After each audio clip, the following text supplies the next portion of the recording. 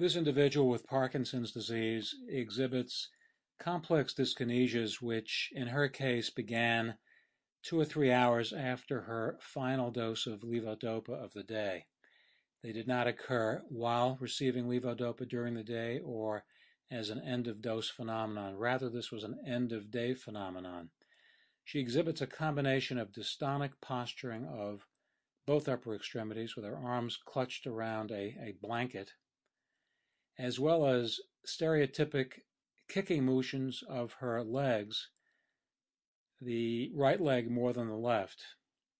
Later in the video, it becomes uh, predominantly the right leg that's involved in these elevation and kicking movements.